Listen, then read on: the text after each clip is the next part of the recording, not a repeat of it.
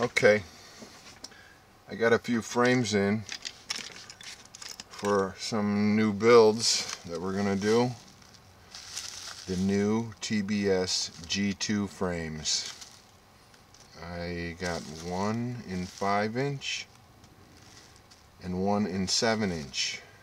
One straight carbon fiber and one the TBS carbon. So let's open it up.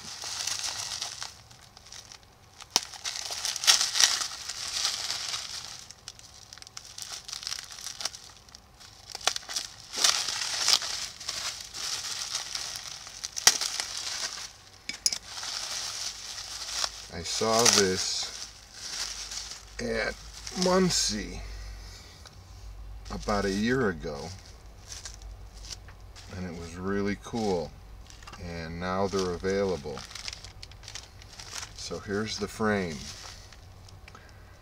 It's two pieces of one mil carbon I think. Let's see. Come on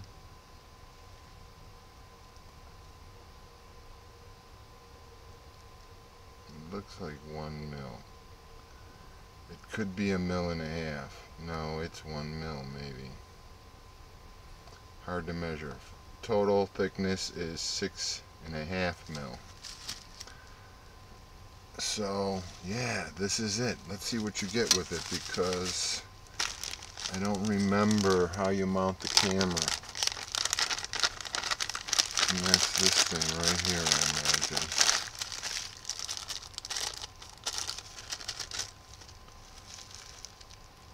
I don't see it still. Oh, okay. Sits down in that hole. And it goes on the top of your stack. So that will be cool. And I imagine the same thing with this one here. So let's look what else is in there. Hmm. We got some purple hardware. Cool.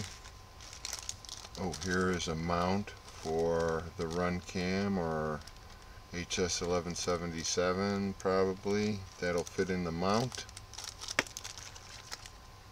Just in case you go with the uh, TBS stuff, they give you a little stacker for your TBS uh, Power Cube, Vision, whatever motor mounting mounting hardware with the Loctite on it. I'm telling you. Camera hardware with the Loctite on it. A couple of battery strap uh, skids so they don't move around and a battery strap. I love it. So this is cool. So yeah, it's got some kind of material in there. Um, strong. Let's look at the other one.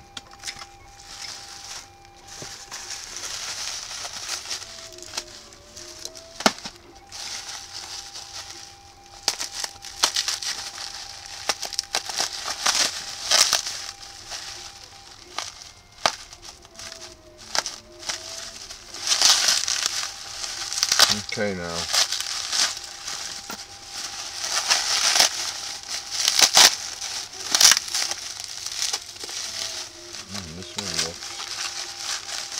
Different? No? Same? Is it all in the picture? I hope it all is in the picture. This thing is huge. It is huge. Um, what do I got? Hmm. I ain't got a big six inch. Six inch. Six. Blades sitting around. But I imagine it comes with all the same stuff we just seen. Identical. And we got the two frames, so this is going to be fun. We're going to screw with this. Um, yeah, I dig it. He makes a 6 inch and you can get them in both full carbon like this one or the TBS carbon where it's a mixture of two carbon and some space age material. That's it.